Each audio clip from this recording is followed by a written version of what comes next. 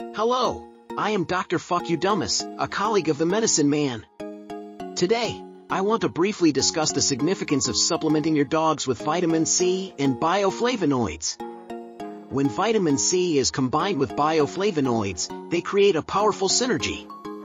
This combination works to eliminate harmful free radicals, boost the immune system, improve respiratory health, protect blood vessels, enhance metabolism, and promote joint health.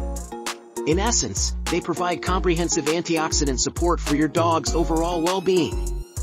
Take a few minutes of your time and research the benefits of vitamin C with bioflavonoids. The benefits that your dog will reap are well worth it.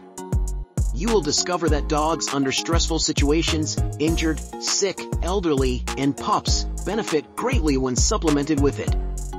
A balanced nutrient-dense diet along with the right supplementation puts your canine in a whole different category. Thanks for listening, and stay tuned for my next segment. Don't forget to like Foundation Kennel 215's page and subscribe.